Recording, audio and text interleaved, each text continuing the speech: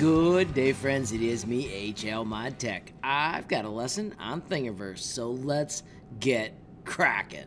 Friends, if you've never visited Thingiverse.com, it has an amazing amount of parts that you can download and 3D print.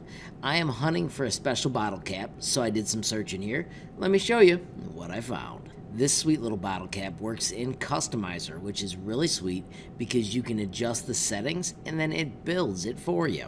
Huge shout out to this user, Dprium, or however you say it, uh, for creating it. When you hit Open in Customizer, it takes you to this awesome screen where you can change the parameters to get the bottle cap you need. When you're done, you hit Create Thing. It puts your thing in your queue, and then you just have to wait for it to show up. So, my friends, I clicked my queue, and you can see that 21 hours later, I still don't have my bottle cap which is a total drag. But my friends, I've got a solution for you.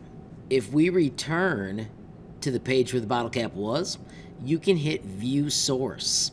And you'll notice that this says .scad, which is for OpenSCAD.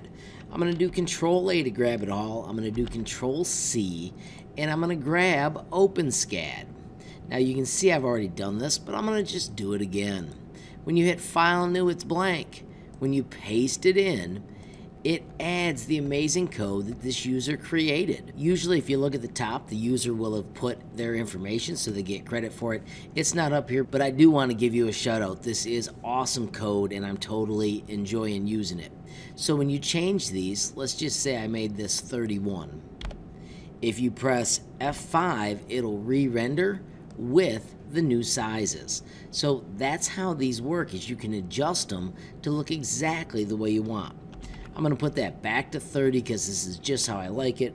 Once again, I'm going to render with an F5. Once you've got all your settings the way you want, notice you can look at this from every angle by left click dragging. If you right click drag, it pans. You can then render your final quality version. If I hit the word design and go to F6, that's the final render, which always makes me think of Iron Man. When you've got your final part rendered, you can simply click on File and Export, and then I want an STL. As soon as you hit that, you pick your folder. I've already made it once, but just so I can show you how quick it is, I'm going to hit save, and bam, my part is done.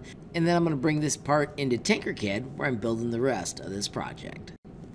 So, one last wrap up, friends. If you are ever stuck in the customizer queue, you can return to the customizer, find the source, and you can just simply plop that code into OpenSCAD. If you've never seen OpenSCAD, it is the programmer's solid 3D CAD modeler. And if you go down here to download, and friends, there's a couple things I want you to know. First, it is tiny, 27 meg, and it is free. How cool is that? Friends, if you enjoyed the video, please give it a like. If you got a question, comment, or suggestion, add it down below. If you haven't subscribed yet, what are you waiting for? Smash that subscribe button. And last but not least, hit that notification bell if you want to be the first to know when there's a brand new video from me, HL Mod Tech. Thanks for watching. Have a great day.